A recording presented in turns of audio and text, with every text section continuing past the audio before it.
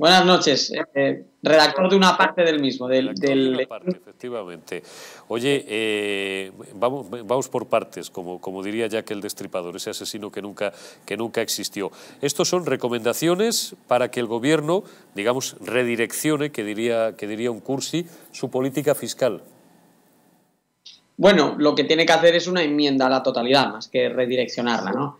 Eh, vamos a ver, para que nos entienda todo el mundo, nosotros lo que hacemos en este informe no es medir cuánto recauda el gobierno, porque eso ya es una decisión muy política y hay gobiernos que eligen recaudar más y hay gobiernos que eligen recaudar menos, sino lo que estamos haciendo es estudiar cómo recauda el gobierno, es decir, la calidad del diseño de las normas tributarias de nuestro país comparada con la calidad del diseño de las normas tributarias de todos los países desarrollados que forman parte de la OCDE. Es decir, hemos analizado un total de 40 factores para un total de 38 economías. Si hace usted el cálculo, pues se puede imaginar que nos hemos pasado mucho tiempo eh, hundiendo los ojos ¿no? en, hojas de cálculo y en, y en 100.000 tablas. ¿no?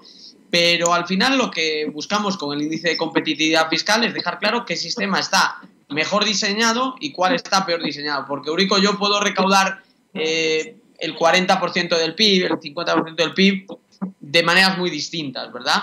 Si, si, yo hoy, por ejemplo, recaudo todos los impuestos confiscándole la riqueza a quienes tienen algo más de patrimonio, consigo mucha recaudación en el año 1, pero luego no voy a conseguir nada en el año 2. O si me hincho, Diego, perdóname, porque la inflación se dispara un 40%, pues la recaudación por IVA, que es la mayor parte del, del quesito del total, no el IRPF, como cree mucha gente, pues claro, se te dispararía, lo cual no quiere decir que seas estupendo, ¿no? Digo, otro, ponerme el chaleco, digamos, de, la, de, las personas que nos estén escuchando, que no necesariamente tienen que ser expertas en, en, en el mundo tributario.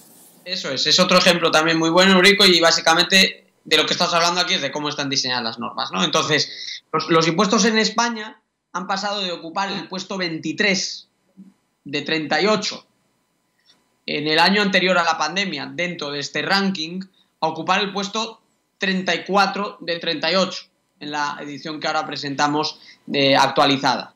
Esto significa que estábamos en la si esto fuese la liga de fútbol, estábamos eh, en la zona media-baja, éramos un equipo mediocre y ahora estamos en posición de descenso a segunda. Es decir, somos uno de los países con peor sistema tributario a nivel internacional. Y esto además eh, tiene el agravante de que mientras que los que están en el furgón de cola y llevan ahí mucho tiempo, como Francia, por ejemplo, no han cambiado mucho, es decir, están mal, pero estaban mal también hace dos años eh, o cuatro años, aquí en España hemos cambiado muy a peor en estos últimos cuatro años. O sea que vamos imitando a los peores, eh, mientras que esos propios peores, pues bueno, ya incluso algunos como Italia o Portugal están haciendo algún esfuerzo por mejorar su sistema. Entonces, deberíamos preocuparnos y mucho de, lo, de los, los resultados de este informe, Eurico, que ya ha sido reflejado en más de 100 medios de comunicación en las ocho primeras horas desde su lanzamiento y que yo creo que abre un debate necesario, ¿no? Porque también hemos calculado el esfuerzo fiscal, etcétera, otros temas por los que, si quieres, te,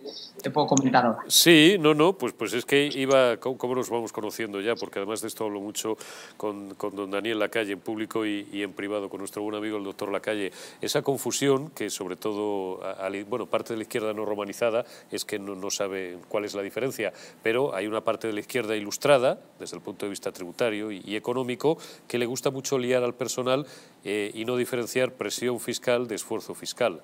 Vamos a, aunque sea muy rapidito en un minuto, a, hacerle una masterclass a, agentes como Lobato, por ejemplo. Bueno, no es lo mismo, no es lo mismo recaudar 10 euros eh, de una persona que tiene unos ingresos de 20 euros que recaudar 10 euros de una persona que tiene unos ingresos de 100 euros, ¿verdad? Eh, el sacrificio que hacemos para pagar 10 euros eh, está relacionado, por lo tanto, con nuestro nivel de renta. Eh, por eso, cuando calculamos cuántos impuestos se recaudan en un país, también tenemos que tener en cuenta cuál es la renta media en ese país. Y cuando hacemos ese ejercicio, que es el llamado índice Frank, el cálculo del esfuerzo fiscal, que es un ejercicio que lleva haciéndose desde hace décadas, principalmente en Estados Unidos, donde se usa sobre todo para calcular los resultados entre los distintos estados del país. Cuando lo hacemos en clave europea y en la OCDE encontramos que el esfuerzo fiscal en España está un 53% por encima de la media europea. La gente se pregunta, bueno, ¿cómo puede ser que nos digan que nuestra recaudación podría ser mayor comparada con otros países europeos. Bueno, tenemos más paro, el doble de paro que, que nuestros socios europeos, y tenemos más economía sumergida, pero los que pagan impuestos pagan un 53% más en relación con su renta de lo que hacen nuestros vecinos europeos. Por eso a los eh, millones de españoles que pagan impuestos les duelen, porque pagan mucho. Claro, Y porque, y porque lejos de ser progresivo el sistema lo consideran cada vez más confiscatorio. Diego Sánchez de la Cruz, yo me tiraría toda la tarde, toda la tarde no, toda la noche hablando contigo de esto, pero lamentablemente no tenemos más tiempo. De todas formas, te agradezco mucho que a estas horas nos hayas dedicado estos minutos. Cuídate y te envío un abrazo. Fuerte abrazo, feliz año, hasta luego. Feliz año, Diego.